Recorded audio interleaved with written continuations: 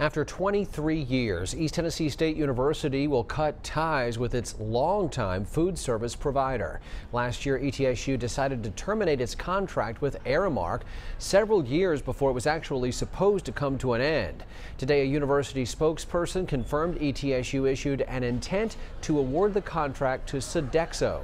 We learned both Aramark and Sodexo submitted food service proposals to the university. Aramark's contract with ETSU ends in June.